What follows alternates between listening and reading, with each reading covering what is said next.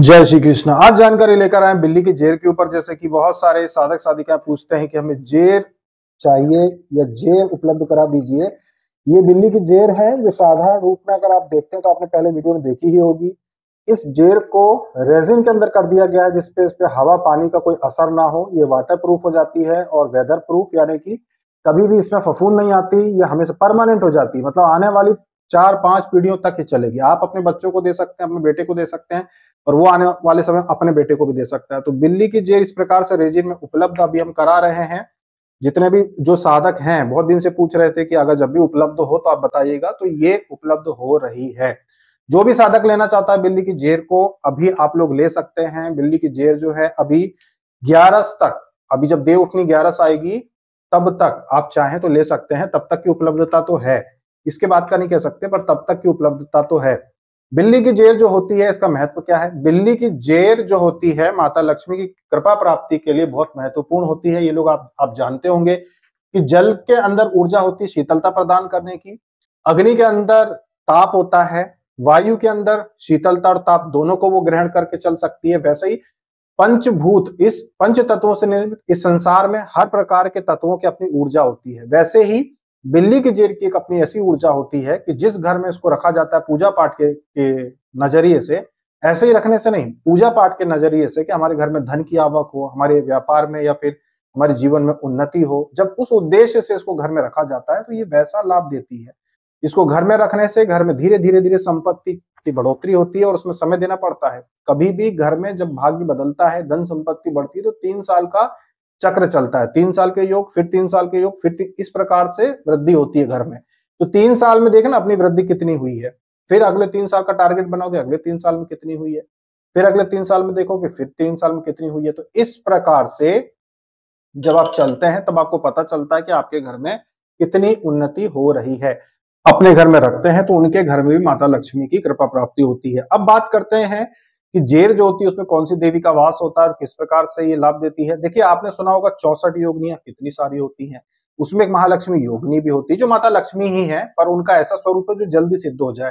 क्योंकि माता लक्ष्मी के मूल स्वरूप को सिद्ध करने के लिए तो कुछ बार साधना करनी पड़ती है, कुछ महीने लग जाते हैं कि भाई एक बार की, दो बार की, तीन बार की तो मूल स्वरूप उनका हमारे घर में आ जाता है। लेकिन अगर एक बार में माता लक्ष्मी की प्राप्ति करनी है तो माता लक्ष्मी योगनी के रूप में साधना पहली करो फिर माता लक्ष्मी योगनी ही माता लक्ष्मी के पूर्ण स्वरूप में आपके घर में आ जाती है, उसमें समय लगता है, आपकी आस्था पे कि कितने महीने से आप सेवा कर रहे हो तो वो स्वरूप जो बढ़ता जाता है। तो माता लक्ष्मी योगनी का स्थान बिल्ली की जेर में होता है। जब भी बिल्ली की जेर घर में आप श्रद्धावान साधक रखते हैं तो माता का उसमें वास हो जाता है। अब इसका पूजन कैसे करना होता है? जो भी व्यक्ति घर में बिल्ली की जेर रखता है, आपको दैनिक रूप से जब भी पूजा पाठ करते हैं तो क्या करना होता है?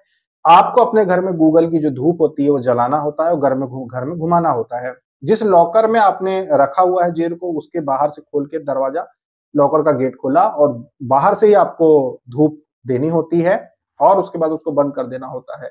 घर में जब आप कंडा जला के और हमने बोला आपको उसमें देवताओं को भोग देना चाहिए घर में जब आप भोग देते हो तब ये प्रार्थना करना चाहिए कि जो माता लक्ष्मी का स्वरूप दिल्ली के जेर के रूप में हमारे घर में स्थापित है, वो भी भोग ग्रहण करें और आपको फिर कंडे पे आहुति देनी होती है। तो जो व्यक्ति घर में कंडे पे गुड़ और घी की प्रतिदिन आहुति देता है। जो व्यक्ति घर में गूगल धूप जलाता है, माता लक्ष्मी को प्रसन्न करने के लिए अपने जो अलमारी होती है, गोदरेज होती है, जो लॉकर होता है, उसके बाहर से आपको धूप दिखानी होती है। इस प्रकार से इसका पूजन माना जाता है कि आप इसको प्रतिदिन पूजन कर रहे हैं। महीने में एक दिन कभी भी पूर्णिमा देख लो अच्छा सा कोई दिन आ रहा है, अगर कोई त्योहार का तो वो दिन देख लो। उस दिन तिलक करो, बाहर निकाल के तिलक करो। अगर इस प्रकार से है, अगर रेजिन में है, इस प्रकार से कि इस पे आप तिलक भी करोगे तो खराब नहीं होगी। अगर ऐसी ओपन है, खुली हुई है तो उस पर सूखा तिलक कर सकते हो कि सिंदूर का सूखा तिलक करो, उसमें कुछ मिलाना मत। और ये हो तो इसमें जल, जैसे कि आप गंगा जल भी इसमें छिड़क सकते हो तो ये खराब नहीं होती है। तो तिलक करो और दिया दिया दिखाओ वहाँ पर सामने रख के माता लक्ष्मी का जाप करो वहाँ पे एक माला, और फिर उनकी आरती करो। तो आपके जाप से ये, इसकी सिद्धि बढ़ती जाती है। तो जेर जिनके घर में अगर वो माता लक्ष्मी की एक माला जाप करे तो उस जेर की शक्ति और बढ़ती जाती है। जो देवी उसमें स्थापित करके आपको दी जाती है, जागृत करके, उनकी शक्ति बढ़ती जाती है। माता लक्ष्मी का स्वरूप और शक्तिशाली होता जाता है। तो एक माला जाप, कंडे पे भोग और गूगल धूप आपको देनी होती है। घर में जेर रखी हुई है तो। एक आध दिन चूक जाते हैं, कोई बात नहीं। दिया बच्चों से जलवा सकते हो आप। बच्चे से आप धुआँ घर में करवा सकते हो। उसको दिखाओ मत भली। पर पूरे घर में गूगल धूप करवा दो। मंदिर में ही आप धूप जला दो। बच्चे के हाथ जलवा दो। दिया जला दो। वहीं पर बैठ के उनसे आप करवा लो कि आप ये कर लो, भली माला जाप उस दिन मत करो। पर जब आप खुद पूजा कर रहे हो तो एक माला माता लक्ष्मी का जाप करो। तो जेर में उपस्थित जो देवी शक्ति होती है, उसकी ऊर्जा, उनकी ऊर्जा जो है, वो बढ़ती जाती बढ़ती जाती बढ़ती जाती है। तो साधक जो पूछ रहे थे कि भाई घर में अगर हम जेर रखते हैं, या माता लक्ष्मी की प्रसन्नता के लिए दक्षिणावर्ती शंख रखते हैं, यंत्र रखते हैं, कुछ भी रखते हैं तो उसकी सेवा कैसे की जाती है? तो उसकी सेवा इसी प्रकार की जाती है। गूगल धूप, भोग लगा दो, और साथ में आप एक माला जाप कर लो तो ये तीनों चीज़ें मिलके ऊर्जा उसकी और बढ़ाती जाएगी बढ़ाती जाएगी बढ़ाती जाएगी, और फिर वो आपको लाभ देती जाएगी। ऐसा नहीं कि यंत्र रखा है या जेर रखी है या शंख रखा है, अब आप ना तो जाप करते हो, ना आप कंडे पे भोग देते हो, ना ही आप गूगल धूप जलाते हो, ये फिर लाभ उतना नहीं मिलेगा। आप अगर ये चीज़ करोगे तो शक्ति बढ़ती जाएगी और उतना ज़्यादा वो आपको लाभ देगी। तो ये थी जानकारी बिल्ली के, जेर के ऊपर जो साधक जानना चाहते थे कि हम कैसे सेवा करें, आप इस प्रकार से सेवा करो। रखते कैसे हैं? जेर है आपके पास। हनुमान जी वाला जो भारी सिंदूर आता है, उस सिंदूर में उसको पूरा दबा दो और एक एयर टाइट बॉक्स यानी कि ऐसा डिब्बा जिसमें हवा ना जा सके, उसमें रख के लाल कपड़े से लपेट के, चाहे तो उसके अंदर सोने की लोंग जाती ना, सोने की लोंग भी जेर के साथ रख दो। लपेट के और फिर रखो। जब पूजा करोगे तो उसको खोलना नहीं है, ऊपर से ही उसको धूप दिखानी है। तिलक करना है तो ऊपर से तिलक कर दो डिब्बे के, वो लाल कपड़े के ऊपर। और आप इस प्रकार से पूजन करो। बार बार उसको खोलने की ज़रूरत नहीं है। साल में एक बार भी अगर खोल के देखो या आपको ये डर है कि कहीं खराब तो नहीं हो गई तो आप खोल के देख सकते हो। अन्यथा उसको बंदी रख, रखने दो। इसे बच्चों को दिखाने की कोई आवश्यकता नहीं है किसी रिश्तेदार को दिखाने की आवश्यकता नहीं है कि घर में जेर है उसको छुपा के रखो। घर में कोई रिश्तेदार आ रहे हैं मान लो दिवाली की पूजा चल रही है अब जेर आप सामने रखोगे उस समय पे अगर कोई रिश्तेदार आ रहे हैं तो बहुमूल्य वस्तुओं को सामने ना रखो। अगर रिश्तेदार दिवाली पे घर आए तो चाहे कितनी मान लो कोई हीरे की अंगूठी आपकी लाख दो लाख की उसको वहाँ पे मत रखो।